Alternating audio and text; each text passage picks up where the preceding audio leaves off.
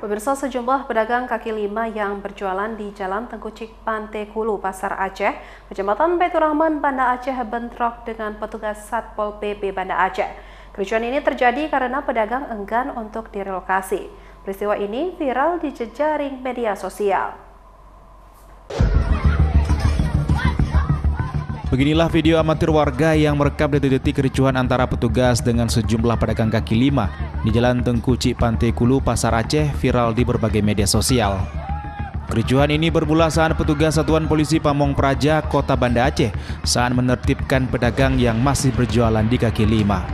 Sebelum penertiban dilakukan petugas, pemerintah Kota Banda Aceh telah menyiapkan lokasi relokasi yang berada di bekas Terminal Kedah, lantai 3 Pasar Aceh, namun pedagang mengaku enggan menempatinya karena sepi pembeli.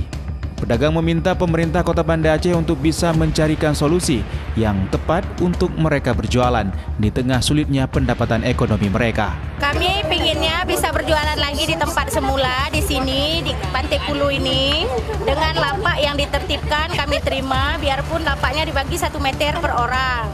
Misalnya ada bayar pajak, kami pun setuju. Kalau kami dipindah relokasi ke lantai tiga apa ke Kedah, di sana memang tidak ada pengunjung tidak akan ramai seperti di sini. Harapannya untuk Pak PJ, untuk pemerintah minta tolong kami bisa berjualan kembali di sini. Mohon kami kali. Jika sebelumnya lokasi Jalan Tengkuci Pantai Kulu sempat dibersihkan dari aktivitas jual beli di kaki lima, namun pedagang nekat kembali menggelar dagangan mereka sehingga petugas langsung mengambil tindakan. Dari Kota Banda Aceh, Syukri Jaribudin, iNews melaporkan.